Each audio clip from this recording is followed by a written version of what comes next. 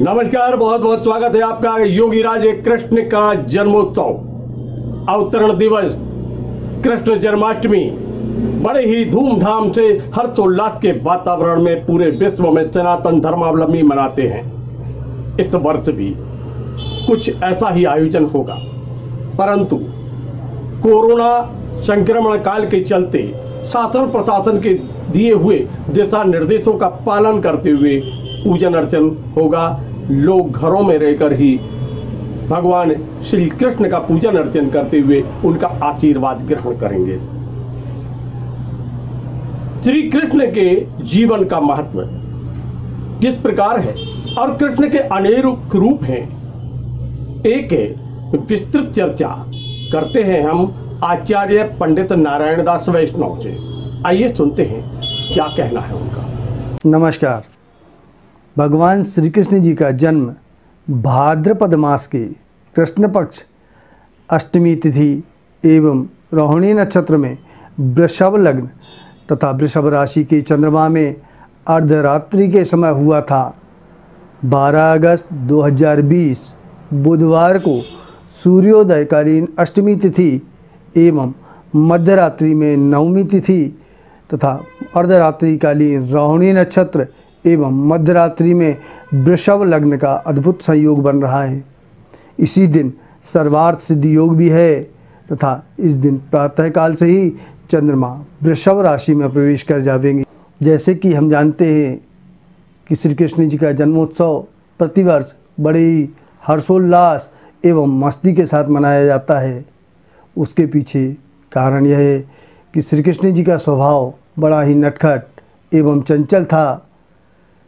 कृष्ण जी का चरित्र व्यक्ति के सुखों एवं दुखों में आबद्ध है। कृष्ण जी का बाल्यकाल हर व्यक्ति की, हर घर की शोभा है। हर माँ अपने बालक के बचपन में श्री कृष्ण जी के बचपन से तुलना करती है। कृष्ण की कोई एक उपाधि नहीं है। कृष्ण कहीं योगी हैं तो कहीं प्रेमी हैं, कहीं योद्धा हैं, कहीं युद्ध भूमि में भागे हुए रणछोड़ हैं, कहीं कूटनीतिज्ञ हैं, कहीं भोले भाले ग्वाले हैं। मनुष्य जीवन के जितने भी रंग हैं, जितने भी सद्गुण हैं, जीवन जीने के जितने भी आदर्श और व्यवहारिक दृष्टिकोण हैं, वे सब कृष्ण में समाहित हैं। उनका जीवन प्रतीक है, अन्याय के प्रतिकार का, प्रेम के निर्वाह का कर्म के उत्सव का, भावनाओं की उन्मुक्ति की, अभिव्यक्ति का, शरणागत की रक्षा का। जड़ सिद्धांतों का उनके विचारों में कोई भी स्थान न था। वे प्रतिबद्ध थे, कर्म के प्रति। कहीं कोई निजी हित न था, कोई प्रयोजन नहीं था। इस कारण से कर्म फल के प्रति भी उनका कोई लगाव नहीं था। मनुष्य जीवन के जितने भी रंग हैं जितने भी सद्गुण हैं, जीवन जीने के जितने आदर्श और व्यवहारिक दृष्टिकोण हैं, वे सब के सब कृष्ण में समाहित हैं। आसक्ति से अनासक्ति का भाव सिर्फ़ कृष्ण में है।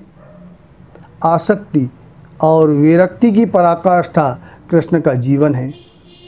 ये जीवन शयन क्षेत्र नहीं है, एक कर्म क्षेत्र है। हे पार्थ, तुम तो केवल निमित्त मात्र हो।